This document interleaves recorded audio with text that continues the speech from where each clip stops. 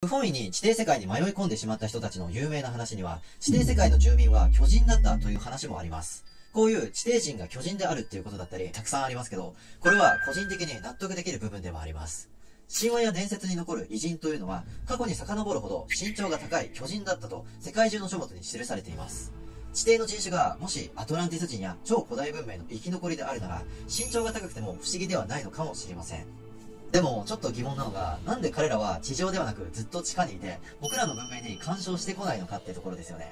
それは、彼らにとって人類は相手にする必要もないほど意識外の存在なのかもしれないという話があります。そもそも高度文明が地球人なんか相手にしないだろうっていうのは常々僕も考えてることなんですけど、一つ例を挙げると、僕らにとって未接触部族という現代文明と完全に分離した民族を侵略しようなんて思わないですよね。むしろお互いの住む世界を分けて保護しようとするはずです。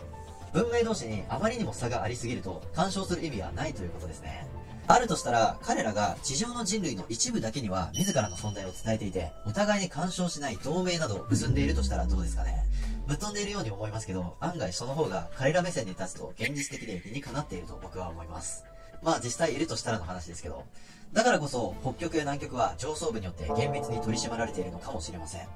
現代の人類は地表で暮らす限界を前々から考えてきていて、宇宙への移民やインターネットの仮想空間、メタバースなどにも目を向けているっていうのは皆さんも知ってると思いますけど、地底世界への大々的な開発はなぜか行われていません。これは技術的な面もあると思いますけど、もしかしたら本当に地底世界の住人との密約があるのかもしれません。